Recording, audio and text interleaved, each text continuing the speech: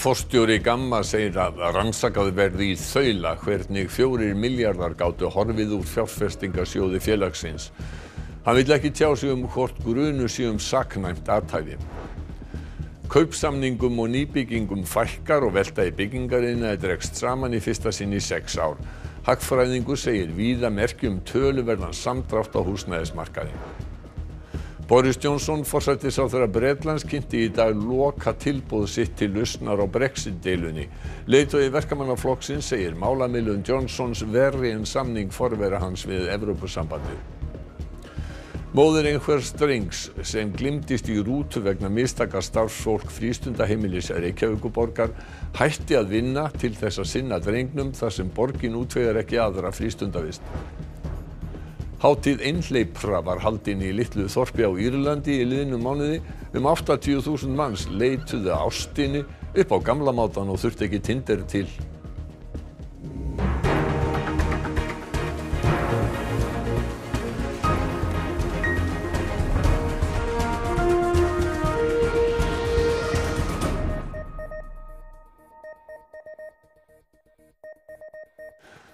Gott kvöld. Nýr forstjóri Gamma segir að farið verði ofan í kjölinn á því hvernig eigið fé fjársveitingasjóðs í eigu Gamma þurrkaðist nánast upp eftir að það var endurmetið. Hann segir miljard vanta inn í verktakafyrirtækið upphaf til að ljúka framkvæmdum. Við endurmat á stöðu tveggja sjóða í stýringu hjá Gamma, Gamma Novus og Gamma Anglia komin ljós að eigið fé í þeim hafði verið verulega ofmetið. Eignir fjárfestingasjóðsins Gamma Novus voru metnar á 4,4 miljardar króna um síðustu áramót. Tölurnar hafa nú verið uppfærðar og er eigið fé sjóðsins nú metið á 42 miljónir króna. Fyrir endurmat voru sjóðirnir tæplega 17% af eignum í stýringu Gamma. Valdimar Ármann, forstjóri Gamma og Yngvi Hrafn Óskarsson, sjóðstjóri Gamma Novus, letu báðir á störfum um helgina. Tryggingafélögin TM og Sjóvá hafa fært niður eignir vegna Gamma Novus. Þá hefur sjóðurinn haft veruleg áhrif á lífeyrissjóð Vestmannaeyja. Ja, það sem, það sem mestu munar er, er endumat á ventur söluverði eigna. Það er hérna, aðferðið við að, að nú verða vaksta kostnað félagsins og, og auk þessum kostnarhækkanir voru vantaldar. Verktaki sem starfað hefur fyrir upphaf, verktakafyrirtæki í eigu Gamma Novus, hefur þurft að segja upp á annan tug starfsfólks vegna fjárhagsvandræðana. Undanfarna daga hafa verið fundir með fjárföstum um stöðuna. Fundur hefur verið bóðaður með kröfuhöfum á þriðu dag í næstu viku og þá skýrist hvort takist að afla félaginu fjár til að klára framkvæmdir, hámarka virði eigna og hámarka endurheimtur fjárfesta. Við hefum metið það svo að, að uppáð þurfi 1 miljard króna af nýju fjármagni til að fjármagna alla framkvæmd til verk, verkloka. Félagi núna með 270 íbúður í byggingu og, og framkvæmdir langt komnar, flestu þeirra og við viljum ljúka þeim og hámarka virðið eigna. Eru framkvæmdir í gangi? Já, það er misjönd eftir verkefnum. Það eru mismyndi verktakar og, og, og misjönd framgangur í þeim. Í markaðnum fylgiriti fréttablasins hefur komið fram að nýjir stjórnendur Gamma kanni nú greiðslur sem runnu frá upphafi fastegnafélagi til félaga sem tóku þátt í verkefnum sem fastegnafélagið hefur unnið að. Grunur leiki á að ekki hafi verið eðlilega að greiðslunum staðið. Grunur um að einhver sagnum aðtæfi hafi verið í rekstri á Novus? Við tjáum okkur ekkert um það þessu, þessu stíði málsins. Þið viljið fá einhverja rannsókt á áður en þið getið sagt afið á með slíkt? Já, við höfum bara sagt að þetta mál verið skoðað frá byrjun og, og, og, og hvað fór úrskeiðis og við munum upplýsa viðengandi aðeila um það. Hvers konar rannsókn verið það þá? Var það þá í getnum lauruglu og dómstóla eða, eða einhver svona innri endurskoðun? Já, ég vil bara sem minnst tjá mig um það. Við, það er í rauninni bara næstu skref, þetta er bara byrjun að stíði. Við, hérna, við viljum ekki segja neitt sem við getum ekki staðið á. Aðal hagfræðingur samtaka iðnaðarins telur að grípa verði til aðgerða til að bregðast við niðursveifli á íbúðamarkaði. Hagkvæmt húsnæði vanti og of mikil áhersla hafi verið lögð á þéttingu byggðar. Fyrstu merki um neyðursveiflu á íbúðamarkaði sjást nú samkvæmt nýjum tölum samtaka iðnaðarins. Íbúðum í byggingu upp að fókaldustigi hefur fækkað um 18%. Velta í byggingastarfsemi og mannvirkagerð dregst saman í fyrsta sinn í sex ár. Erlendu starfsfólki í byggingariðnaði fækkar og þá dregur úr nýjum íbúðalánum. Sumulegis fækkar kaupsemningum og fleiri íbúðir seljast undir ásettu verði. Allir þessi þættir náttúrulega uh, koma fram í því að við erum að sjá niðursveifluna myndast á þessum markaði og, og verðþrónu með þeim hætti að, að raunverð núna er búið að vera nokkuð stöðugt ef við lítum til síðustu 12 mánuða á þessum markaði sem staði sem við höfum ekki séð síðan við byrjaði að taka við sér hér árið 2010-11. Íbúðum fjölgaði umtalsvert milli talninga í postnúmeri 101 um 120. Ríflega ein af hverjum fimm íbúðum í byggingu er því í einu postnúmeri. Ingólfur segir að hagkvæmt húsnæði vænti og of mikil áhersla hafi verið lögð á þéttingu byggðar. Okkar um, áhyggjur hafa lútið að því að, að samsetningin í frambúði íbúðarhúsnæði sé ekki að passa þeirri þörf sem er til staðar. Og þar vantar bara meira hagkvæmum íbúðum. Uh, þetta er mikil áhersla sem hefur verið á þéttingarmál. Uh, það er talsettur að byggja af stærri íbúðum, það vantar minni hagkvæmar íbúður innan á markað og því miður virðist það ekki vera að breytast nægilega mikið samkvæmt þessum talningum. Ingólfur segir að nú sé tilefni til hagstjórnar aðgerða.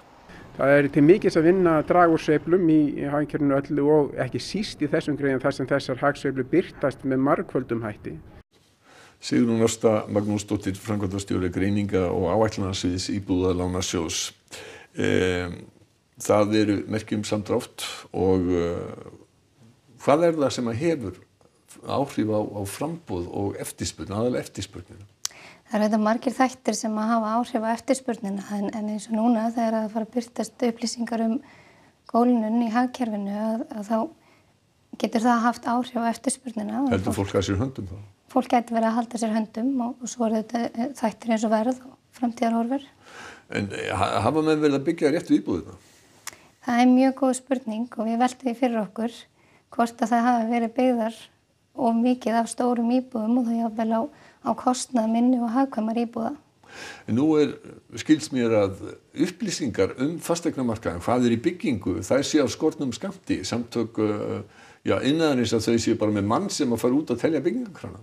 Já, það er ekkur að tannig og en það eru verkefni sem við erum að vinna að hér, hjá Íbúðalánisjóði að reyna að bæta úr upplýsingum á húsnæðismarkaði til þess að aðeinar hafi áræðanleira upplýsingar um hvað er í byggingu og geti tekið ákvarðanir út frá því. En nú er þetta markað, það er enginn sem stýrir þessu, það, það lítur alltaf að vera einhver, einhver bíl á, eða svona bíl á milli þess sem er eftirspurn og þess sem er frambóð, þannig að mm. er hægt að minka þetta á einhvern hátt, þetta, þetta bíl? Já, það er alltaf mikið bíl á milli eftirspurnar og frambóðs á húsnæðismarkaði bara í ljósi þess að það tekur töluverðan tíma að byggja nýjar íbúðir og eftirspurning getur breyst mjög hratt en þess vegna er mjög mikilvægt að við séum mjög reglulega að gera greiningar á eftirspurninni. Nú er sagt, komið svona ákveði jafnvægi á þennan markað, er það nokkuð sleim? Nei, svo sannlega ekki við, og við viljum þetta stöðla að stöðleika á húsnæðismarkaði. En hvern, uh, hvernig núna seljast nýjar, uh, nýjar íbúður, seljast þær undir kostnæðarverði kannski? Það hefur orðið breytinga á og, og nýjar íbúður eru í auknum mæli að seljast undir ásættu verði. Já. Heil, kærar þakkir Sigrun Ásta Magnúsdóttir fyrir komuna í beina útsendingu hjá okkur í stúdíónu og við ætlum að fara upp í Breiðholt því að nú rétt fyrir fréttir var tilkynningum eldsóða í Suðurhólum. Solveig Klara Ragnarstóttir fréttamaður er á staðnum og við skiptum til þín Solveig. Já, það er mikill viðbúnaður hér við Suðurhóla í Breiðholti. Gutunni hefur verið lokað og vinna á vettvangi stendur enn yfir. Hjá mér er Guðmundur Karl Haldursson, varstjóri. Guðmundur, er, er búið að ráða niðurlögum eldsins? Já, það er búið að ná uh, tökum á þessu og uh, við erum bara reykarista hérna íbúðina og næri líkjandi uh, íbúður Við fengum útgatt hingað um uh, rétt upp á hálf sjö og uh, var reykur hérna út á glugga þegar við komum og uh, auðvitað það var þó nokkur eldur í íbúðinni. Það var fólk sem var fast inn í íbúðum hérna og á hæðinni sem eldurinn var, þar var inn í annar íbúð, var badd sem við náðum í og svo upp á þriðju hæð, þar var þrend sem við tókum svo nýður þegar hérna að reykristaða mest á stegaganum. Var einhver í íbúðinni þegar eldurinn kviknaði? Nei, það var engin íbúðinni þegar eldurinn kviknaði og e, skemmtir á íbúðinni eru mjög miklar.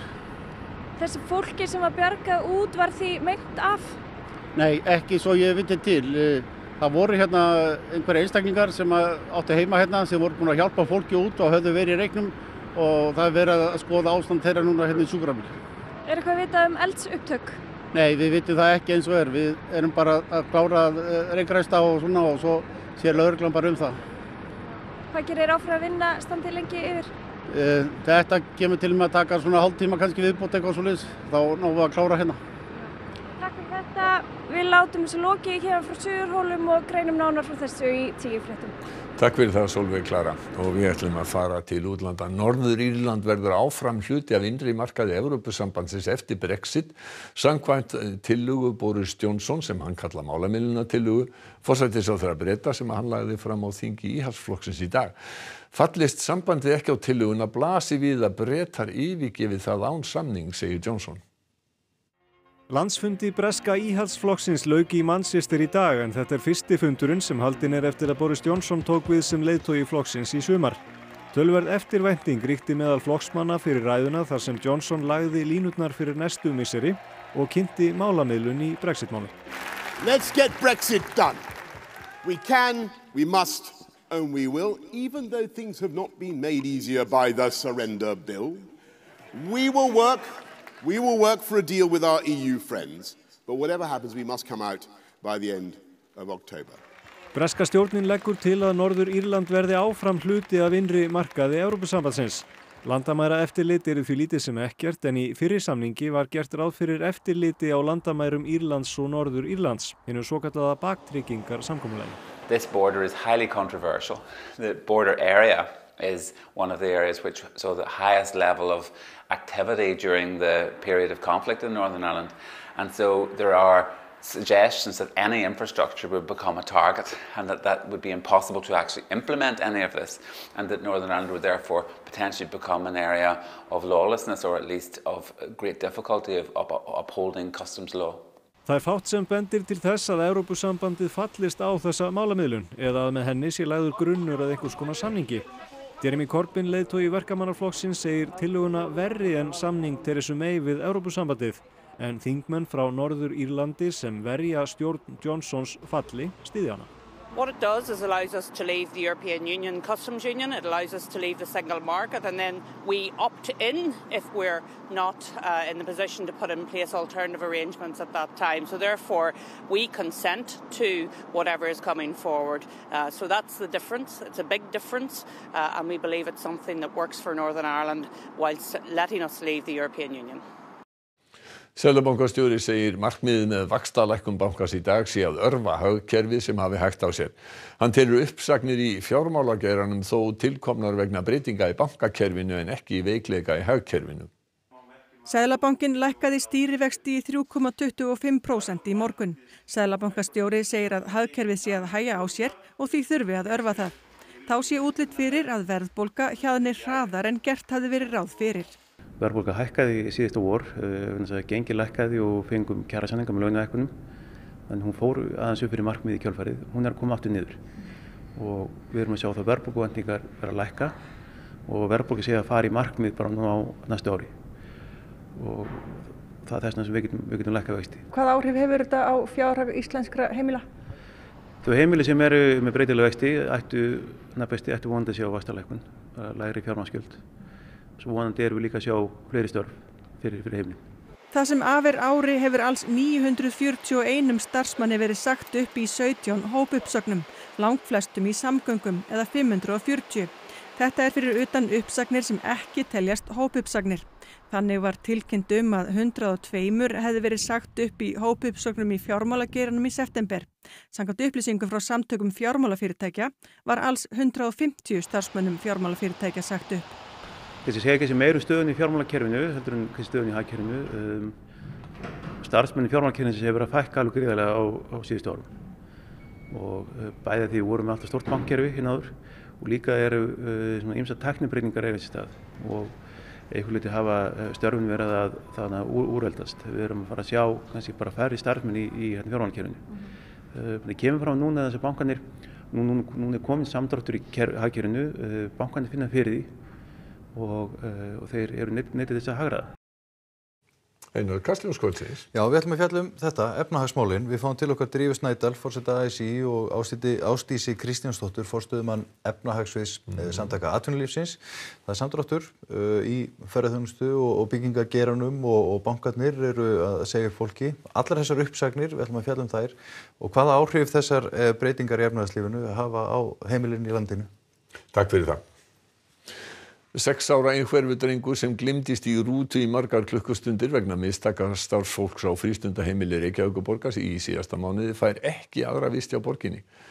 Móður drengsins hætti að vinna til að sinna honum eftir skóla en foreldrarnir segjast ekki treysta starfsfólki í frístundaheimilisins. Mikolai sem er mikið einhverfur og tjáir sig lítið sem ekkert byrjaði í fyrsta bekk sérskólans klettaskóla og á frístundaheimilinu Guluhlíð í haust. Einungis fjórum dögum síðar glemdist hann í rútu sem ferjar börnin milli klettaskóla og guluhlíðar og satt þar læstur inni í meir en þrjá tíma. Eftir að Mikolai glemdist í rútunni var verkverðlum við móttöku barna hér á guluhlíð breytt. Sangan upplýsingum frá Reykjavíkuborg hefur það borið árangur og atvikið ekki endur tekið sig. Fóreldrarnir Silvi og Mikael treystu sér ekki til að senda Mikolai í guluhlíð aftur. Sankant svari frá Reykjavíkur borg þurfa börn að sækja frístundaheimili við sinn grunnskóla. Þar sem drengurinn er í klettaskóla stendur fjölskyldunni ekkert annað frístundaheimili til bóða en gulahlýð. Fóreldrarnir segja að borgin hafi ekkert komið til móts við þau varðandi vistun fyrir Mikolai og því hafi Silvíja sagt starfi sinni lausu til að geta sint honum eftir skóla. Það er alltaf algengt að fóreldra fatlaðara batna þurfa að hætta að vinna til að sinna þeim að því kerfið er of ósveganlegt Oftast er það konan sem að fer að vinnumarkaði líklega vegna þess að það er kannski algengar að þær eru í læra launum störfum en auðvitað fyrst og fremst snýst þetta um rétt til bassins til fullrar þáttöku í samfélaginu uh, og að þessi teki tillit til föllunum og veitt þjónustu í samræmi við hana þar sem að hann býr sem er hverfið hans. Frumvarp sem felur í sér stórtækar breytingar á þjónustu við börn og barnafjölskyldur verður lagt fram á vorþingi. Lögin eiga, að tryggja samtal og samráð milli stopnana svo börn týnist ekki í kerfinu. Fyrir um ári var skrifað undir vilja yfirlýsingu fimm ráðuneyta þess efnis að fella niður veggi í kerfum þeirra í þáu barna. Í kjölfari fór á stað þverrpolítísk vinna nefnda og sveitarfélag. Afraksturinn var kynntur á ráðstöfnu í hörpu í dag þrátt fyrir að við hefum fullt af lausnamiðnuðu fólki sem á hverjum degi er að vinna með börnum þá upplifa bæði börnin og fjölskyldunar sem þurfa þjónustu að þau séu stödd í völundarhúsi. Þau fá aðstofað einu stað en vita síðan ekki hvert þau að fara næst eða hvernig málum vindur fram eftir því sem að börnin eldast. Ekki sé alltaf augljóst hver á að veita hvaða þjónustu, hvernig og hvenar. Ný löggjöf um þjónustu við börn og barnafjölskyldur á að samþætta þau kerfi sem þessir hópar koma að með þrískiptu skipulagi. Þannig með tryggja að börn týnist ekki í kerfinu og veita þeim þjónustu áður en skaðin er skiður. Allir þeir sem er að starfa í þjónustu við börn, alveg sama hvar er í samfélaginu, hvort sem það er í félagsþjónustunni, heilbriðiskerfinu, mentakerfinu, eru allir að gera vel en við höfum ekki verið að tryggja samþætta þjónustu og það held ég að sé það sem að koma skuli það. Samlega nýri lögjöf verður ýmsum núverandi lögum breytt til að mynda barnaverndarlögum og lögum um félagsþjónustu. Gert er ráð fyrir að tillögurnar verði lagðar fram á vorþingi. Þetta er ekki eitthvað heldur sem við erum að fara innleið á einu mánuðu eða eitthvað slíkt vegna þess að þetta er slík breyting að það þurfa allir að koma að, að borðinu en til lengri tíma litið trúi ég því að þessi aðgerð sé eitthvað sem að geti gjörbreytt stöðu barna í íslensku samfélagi. Rástefnan var haldin í samvinnu við landsamband ungmennafélaga. Ungt fólk kallar eftir auknu samráðu stjórnvalda við börn og ungmenni. Ég vil bara sjá stjórnvöld byrja að taka mig og annað ungt fólk alvarlega og ég þurf ekki að berjast því að einhver sé að taka mig alvarlega því ég er bara 17 ára um, og ég vil sjá raunverulegt samráð milli barna og stjórnvalda af því það er til góðs og það mun bæta samfélagi virkilega. Það munu engin frumvörp koma fram sem lúta þessu máli öðruvísi en að börn og ungmenni hafi með einhverjum hætti haft tækifæri til þess að hafa áhrif á þau vegna að það er nú eins og svo að börn og ungmenni eru sérfræðingar í því að vera börn og ungmenni. Í Littlu þorp á Írlandi var allan septembermánuð haldinn hátíð einhleipra um 80.000 manns sóttu hátíðina í vonum að finna ástina. Hátíðin er sannlega ekki ný af nálinni, heldur 150 ára gömul hefð. Árkvært kemur einhleft fólk á öllum aldri í 800 manna þorpið líst og varna í leitað ástinni. Find a nice man and find love.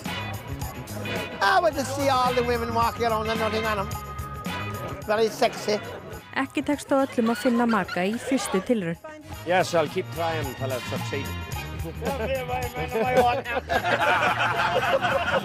Þá er gott að geta keft þjónustu hjá sérfræðingum fyrir aðeins 5 eurur geta hátíðagestir hitt mögulegan sálufélaga. So well. Í dag kynast mörg plör í netheimum. Sumum hugnast þessi aðferð greinilega mun betur. Because you just take the person once on Tinder, you go, hey, what's up? And they'll be like, oh, how are you? And next thing, that's why you don't do like. Because you're going to text that girl on Tinder once or twice, and that's it. Like, in here you can meet that girl, dance with her, get to know her, have a drink with her, dance, bang, bang, you know, have a great crack with her. Like. Þá verða veðrið. Suðaustan 15 til 23 metrar á sekundi í kvöld og á morgun hvassast við suðvestustrundina en hægari vindur norðan og austanlands. Rigning með köplum á morgun sunnan og vestan til en þurft á norður og austurlandi. Allir yfir heldur og vindi annar kvöld. Það er Sigurður Jónsson viðfrængu sem fenn nánar yfir veðrið að loknum íþróttum sem Kristjana Arnarsdóttir sérum í kvöld. Spennan held áfram á heimsmestramótin í frjálsíþróttum í Doha í Katar í dag á sjötta keppnistegi mótsins. Heimir Guðjónsson verður þjálfari vals í Pepsi Max deild karlaði fótbolta næstu fjögur árin. Þetta tilkynnti knaspinu deild vals í dag. Og tjekneska liði Slavia Prag tók á móti Borussia Dortmund í annar umferð riðlakeppni meistradeildar Evrópu í fótbolta í dag. Helstu aðtriði fréttana. Forstjóri Gamma segir að rannsakað verði í þaula hvernig fjórir miljardar gáttu horfið úr fjárfestingasjóði félagsins. Hann vil ekki tjá sig um hvort grunu sig um saknæmt aðtæfi. Kaupsamningum og nýbyggingum fækkar og velta í byggingariðna dregst saman í fyrsta sinni í sex ár. Hagfræðingur segir víða merki um töluverna samdrátt á húsnæðismarkaði. Boris Johnson forsættisáþurra Breitlands kynnti í dag loka tilbúð sitt til lausnar á Brexit-deilunni. Leiðtogi verkamannaflokksins segir málamilum Johnsons verri en samning forveri hans við Evrópusambandið. Móður einhvers drengs sem glimtist í rútu vegna mistaka starfsfólk frístundaheimilis Reykjavíkuborgar hætti að vinna til að sinna drengnum þar sem borgin útvegar ekki aðra vist. Þessum fréttatíma er um það bil að ljúka næstu fréttir klukkan tíu í kvöld. Takk fyrir og verðið sæl.